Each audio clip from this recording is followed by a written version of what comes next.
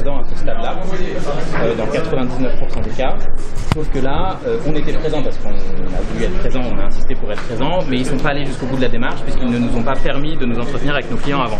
Et donc on n'a pas été en mesure euh, d'exercer finalement nos droits au moment de la présentation devant le procureur, sachant que c'est évidemment une étape importante puisque c'est à ce stade-là que le procureur décide ou non d'envoyer la personne en comparution immédiate. Et comme on est dans une procédure qui n'aurait jamais dû passer en comparution immédiate, c'est d'autant plus important, évidemment. Ça veut dire qu'on a voulu aller trop vite Ah ben clairement, ils ont voulu aller trop vite et ils ont mal fait les choses. Bah voilà, la prochaine fois, ils iront, ils prendront peut-être un peu plus leur temps. Mais c'est assez symptomatique en fait de ce qui se passe depuis le début, notamment du mouvement des Gilets jaunes, c'est-à-dire qu'ils vont très très vite, ils font parfois un peu n'importe quoi. Là, c'est un dossier qui est médiatique, mais c'est arrivé euh, dans d'autres dossiers où il y a eu des annulations de procédure parce que le parquet veut aller trop vite. Voilà. Il y, a, il y a des règles à respecter en fait. Même si on a beaucoup de personnes déférées, même s'il y a des incidents dans les rues, dans les manifestations tous les samedis, il y a des règles à respecter. Et c'est la base de la démocratie, c'est la base de notre, euh, de notre état de droit, c'est qu'il faut respecter les règles, quelles que soient les circonstances. Et c'est ce que vient de rappeler le tribunal aujourd'hui. Quelle va être la suite du coup pour, euh, pour ce dossier Euh, la suite, c'est que le procureur de la République garde la possibilité de réenclencher une procédure, soit de reciter les quatre prévenus, soit d'en reciter d'autres, soit de ne pas les reciter. Euh, on verra. Je ne peux pas vous dire à ce stade quelle sera l'attitude du parquet, étant précisé que euh, le dossier étant très fragile, notamment pour trois des quatre prévenus, c'est même pas certain que tout le monde soit recité. Pas eu le temps de- d'en parler avec lui puisque vous avez été plus rapide que lui. Euh, donc je ne sais pas. Mais je pense en a marre de, de tout ça. Après, euh, voilà, il y a des problèmes de droit. Euh, il aurait bien voulu être relaxé aujourd'hui en fait. Il aurait voulu que le tribunal puisse dire aujourd'hui, bah, en fait, vous êtes innocent parce que c'est ce qu'il c'est ce qu'il dit. Et bah, c'est pas pour aujourd'hui. Mais pour l'instant, il n'y a plus de contrôle judiciaire, il n'est pas poursuivi. Euh, il y a juste une procédure qui existe, mais pour laquelle il n'est pas poursuivi à ce stade. Il n'est plus poursuivi à ce stade. Ah oui, ça, ça annule tous les contrôles judiciaires. Ah bah oui, bien sûr, oui. Il y en a un qui a fait de la détention. Oui, il peut éventuellement euh, demander l'indemnisation de la détention, mais non, parce qu'en réalité, pardon, euh, comme il va être cité certainement, En général, c'est quel délai ce parti pour quel délai pour il n'y a pas de délai. Il y a des délais minimums qui sont des délais de quelques jours pour la convocation, mais après, il faut le temps de trouver une audience. Enfin, je sais pas. Sincèrement, ça peut être, euh, ça peut être un peu long, ça peut être rapide. euh, voilà, je sais pas. Vos confrères, vous avez évoqué, je crois, euh, une possible information, l'ouverture d'une information judiciaire. Je ne sais pas si c'est vous. Non, mais c'est, il aurait fallu le faire. En fait, oui, on l'a évoqué, mais parce que ça aurait, ça aurait dû être fait au début. Là, maintenant, c'est trop tard. c'est trop tard. Ça, n'aurait aucun sens maintenant. Dès le début, ils auraient dû faire ça. Et ça aurait évité ce genre de problème, en fait. Parce que pour le coup, avec une ouverture d'information, il n'y aurait pas eu de difficulté parce que ça se passe généralement sans problème. On peut s'entretenir avec notre client, on peut voir le dossier, on a le temps qu'il faut. Le ministre de l'Intérieur avait décrété un nouveau principe de responsabilité collective euh, en matière de droit pénal, en décrétant que toutes les personnes qui iraient manifester dans des lieux où étaient annoncées euh, des dégradations par certains, euh, par certaines bandes, etc., seraient tenues pour pénalement responsables. C'est exactement ce que l'on retrouve dans ce dossier, où pour 4 personnes sur 5 ou pour 3 personnes sur 4, il n'y a absolument rien, rien matériellement contre ces personnes, mais on leur applique une doctrine qui vient d'être inventée pour les besoins de la cause, c'est-à-dire qu'ils étaient au mauvais endroit, au mauvais moment, et que donc, telle la, doctrine du panier à salade, eh bien, euh, on les tient tous pour responsables. Ce dossier est un pur scandale. Première sanction par le tribunal, c'est euh, le- les conditions du déferment. Le déferment est absolument illégal puisque l'entretien euh, préalable avec un avocat, la consultation d'un dossier aussi volumineux, un dossier qui a mobilisé pendant cinq semaines 25 officiers de police judiciaire, 25 de la troisième DPJ. Et on vient nous dire que c'est un dossier dont ressortirait une flagrance. En termes de flagrance pour certaines personnes dans certains ministères, je, rappellerai simplement que ça vient du terme flagrant, que le terme flagrant, c'est- ça renvoie au terme évident. Et quand on a besoin de 25 personnes pour rapporter à un tribunal une évidence, c'est que manifestement, on n'est pas dans l'évidence ni dans la flagrance. C'est ce que vient de sanctionner de première part le tribunal aujourd'hui, euh, dans un délibéré qui est tout à fait effectivement satisfaisant. Ça ne veut pas dire que l'affaire va s'arrêter là, les faits ne sont pas, sont pas prescrits.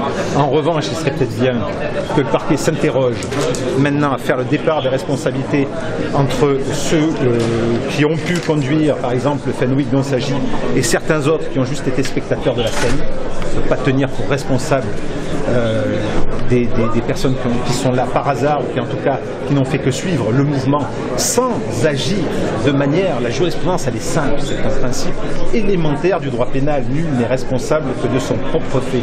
Vous n'êtes qu'auteur d'une infraction que si vous êtes intervenu de manière nécessaire, déterminante et dans le même temps que la commission principale de l'infraction. Pour mon client qui, par rapport par exemple à la porte du ministère de M. Griveaux ou à la de la Société Générale un instant de raison après, n'a fait que tenir son portable et filmer la scène, et je trouve cela assez hallucinant. Si j'ajoute en outre qu'une personne n'a pas été identifiée dans ce dossier, une personne que l'on voit apparaître sur les caméras de vidéosurveillance, qui est la personne qui a découvert clés. Et on la voit, et 25 OPJ qui mènent une enquête ne peuvent pas l'ignorer. Or, cette personne n'est même pas décrite. On ne fait aucune recherche, aucune investigation en son encontre. Donc ça, la prochaine étape, eh j'espère qu'effectivement le parquet mieux se pourvoir, comme le lui a demandé le tribunal, renverra à l'instruction cette affaire pour que le départ et les vrais responsables soient euh, ramenés devant le tribunal. Parce que de ce que j'ai pu voir moi du dossier, on n'apprend pas au vieux singe à faire la grimace. Et donc, si j'avais un esprit mal tourné, comme j'ai pu dire au tribunal, j'imaginerais que euh, cette personne qui va chercher les clés du Fenwick, d'un pas très assuré, qui récupère les clés, qui les donne à une première personne, qui les reprend, les redonne à une deuxième personne et qui ensuite va guider le Fenwick, que l'on voit sur à peu près quatre vidéos face caméra de surveillance, en tout cas de manière tout à fait identifiable. Pas qu'après il reste à l'identifier, mais enfin, faut-il se donner les moyens, faut-il investiguer Mais que cette personne n'apparaisse nulle part dans la procédure me fait avoir des mauvaises idées et euh, qui confinerait, ben, par exemple, une certaine. On voudrait exfiltrer quelqu'un d'un dossier qu'on ne s'y prendrait pas autrement. Voilà ce que je peux dire à ce stade.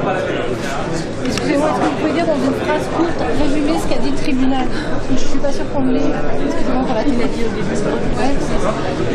Pour dire, dire pourquoi le, le PV de saisine initiale a été annulé. Le- le- le- le proc- la, la procédure a été annulée par le tribunal euh, à l'instant pour une raison simple, c'est qu'il y a une violation flagrante des droits de la défense. Les personnes au moment euh, de leur déferment devant le ministère public et avant de devoir comparaître en comparution immédiate, donc au sortir de leur garde à vue, euh, n'ont pas pu s'entretenir avec euh, leurs avocats respectifs et certains avocats d'ailleurs n'ont même pas pu avoir accès à la procédure. Sont là des droits élémentaires le tribunal ne pouvait qu'annuler. Donc forcément euh, la décision est logique. euh, du côté du, ministère public qu'on est surpris, mais vraiment il n'y a, pas lieu de l'être. Ces conclusions étaient déposées par, euh, la défense depuis, la première audience en réalité, où il y avait eu des renvois pour d'autres raisons à l'époque. Est-ce que ça veut dire qu'ils ont voulu aller trop vite Finalement, vite fait, mal fait. Ah tout à fait. Euh, L'objectif dans cette affaire, c'est euh, c'est de donner une réponse judiciaire qui cadre avec les besoins euh, de la politique de sécurité publique actuelle du ministère de l'Intérieur. Aujourd'hui, dans ce dossier, on s'aperçoit que finalement les forces de l'ordre, les forces de sécurité publique ne sont pas ce qu'elles devraient être, c'est-à-dire des auxiliaires de justice. Dans ce dossier, c'est la justice qui a été instrumentalisée comme auxiliaire des forces de sécurité publique.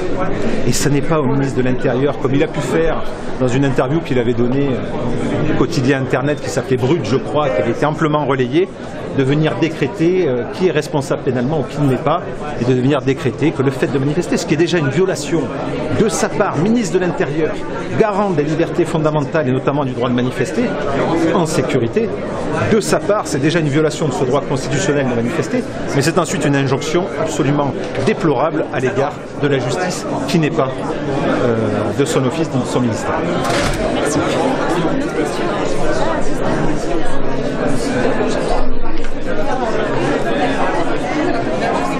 Ah, il y a plusieurs options à ce stade-là, c'est très simple. Soit le procureur renvoie, soit le procureur renvoie euh, à nouveau devant le tribunal correctionnel, il prend une décitation exactement euh, dans, les mêmes, dans les mêmes termes, euh, mais sauf, que cette fois il les envoie par la poste. Ou alors il peut procéder également à une convocation et procéder à un déferment, mais bref. Euh, il, peut, donc convoquer ou citer tout le monde devant le, tribunal, le même tribunal correctionnel, puisque c'est simplement la saisine du tribunal qui a été annulée, c'est pas la procédure dans le fond et dans son entièreté.